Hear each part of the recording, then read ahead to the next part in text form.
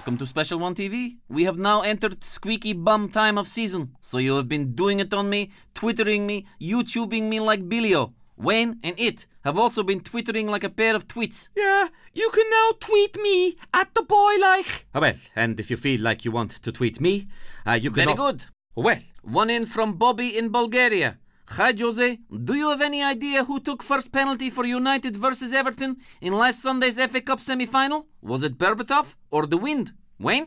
Yeah, Dimitar is experiencing a crisis in confidence there. But this one, this is a classic. Very good. This comes in from Ricky in Gloucester.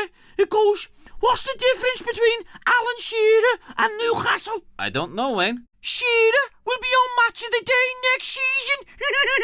Very nice, Ricky. This exclusive Special One TV t shirt is on its way to you for your contribution to this week's show. uh, well, uh, by the way, uh, did you know that we spelt uh, Didier's name incorrectly last week? Oh. what? The news. My top story. It's official. A glimmer of hope has begun to peek through the clouds of recession. Following the boy Rooney's groundbreaking report on managers on the dole last week, at least one manager secured a new position for himself in Ipswich Town. And he joins us now on the line. Congrats on new position, Roy. Hello. How does it feel to be a tractor boy, Roy? Yeah, credit to agricultural machinery as a whole. Uh, but to be fair, I just want to thank the boy Rooney for bringing my plight to the fore at the end of the day. Your tenure at Sunderland came a cropper over what was known as the Bonio affair. Yeah. Can you assure Ipswich fans there will be no repeat? Again, all credit to Canine Snacks, um, but I have an ironclad contract which ensures Trigger's best interest. And now that you're back in the game, Roy, everyone at Special One TV is looking forward to working with you a lot more. Yeah, well, once the boy and the bullped there show up on time for rehearsals and give the show 100%, uh, we get along fine. If they don't, then it'll be a brief relationship. Thank you, Roy. Thank you. And it really has been Wayne's week. For not only was he tackling the recession and scoring goal that put Man U on top of the table, he also became internet sensation with YouTube hits neck and neck with Susan Boyle's record of 100 million.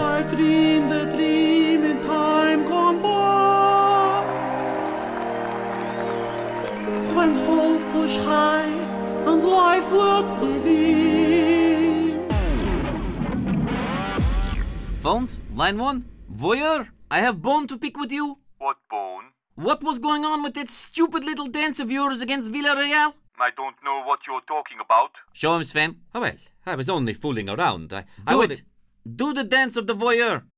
Well, We're waiting. uh, well, it was it was only sort of a little. Uh, what was it? Uh, yeah, yeah, yeah, ha, ha, yeah, yeah, ha. Wayne? Yeah, technically it was Lachen, I'm afraid. Oh, well, nobody said anything about judging, and Uh, your execution was suspect. What? And phrasing was practically non-existent. I'm sorry. Hello? What is going on, please? Line two, Rafa? Yes, I agree. I think it is uh, ridiculous for the manager of the club to be doing the dancing. Very good. How's the basketball going, Rafa? What basketball? Every game, 4 4. You score, they score, you score, they score. You are like the Magic Johnson, Rafa.